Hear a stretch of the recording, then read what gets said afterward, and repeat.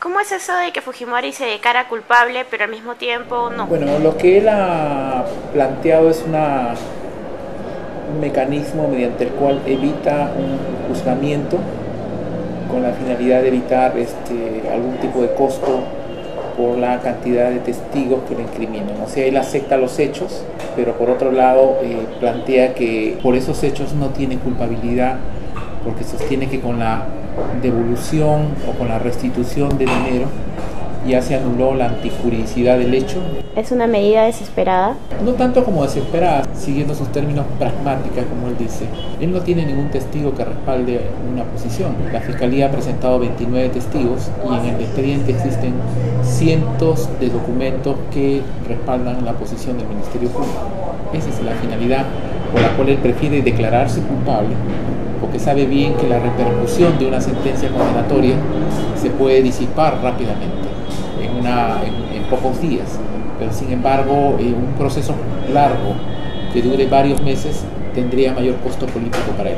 ¿Fujimori puede afirmar que Montesinos lo coaccionó para entregarle los 15 millones? Imposible. Sin el respaldo de Alberto Fujimori, Montesinos no era absolutamente nada.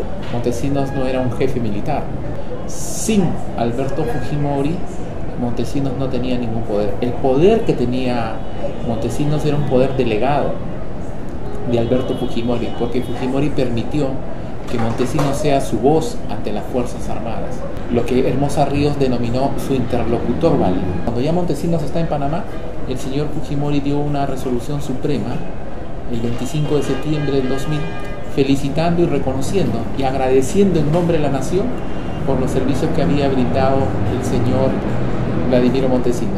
Si Montesinos era una amenaza cuando estaba en el país, ¿por qué el señor Fujimori tenía que darle una resolución suprema agradeciéndole en nombre de la nación por los importantes servicios que había brindado Montesinos al país? ¿Qué pruebas existirían para probar que Fujimori no fue coaccionado? El comunicado del, del Comando Conjunto de las Fuerzas Armadas de fecha 20 de septiembre del año 2000, en el cual este, toda la cúpula militar brindó su respaldo al señor Alberto Fujimori. Dos, eh, el hecho de que el señor Fujimori, después de la difusión del video Curi Montesinos, el señor Fujimori recibió a los jefes militares en Palacio Gobierno. Punto tres, el hecho de que eh, Fujimori, en los días posteriores a la difusión del video, continuó normalmente pernoctando, durmiendo en dependencias militares. Punto 4, e, el hecho de que Fujimori no cambió en ningún momento a la cúpula militar.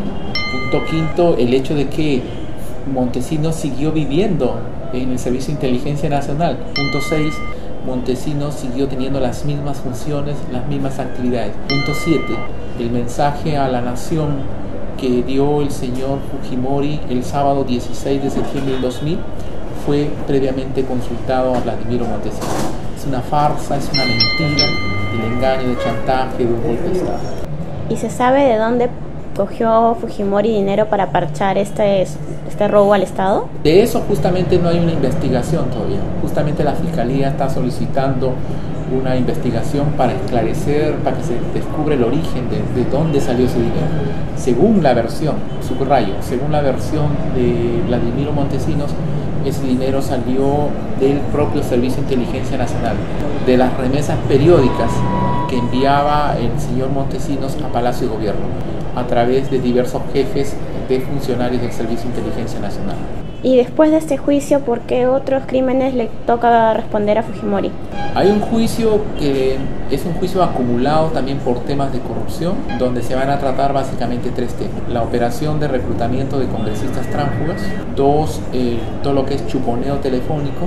Tres, eh, la compra de medios de comunicación. Finalmente, fiscal, ¿qué se siente ser el acusador de Fujimori? Lo que siento es una culminación de mi trabajo. Yo comencé conociendo casos que quizás no fueran muy importantes.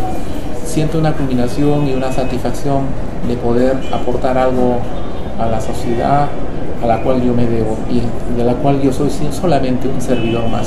Es la primera vez que un expresidente reconoce haber cometido un delito en audiencia pública.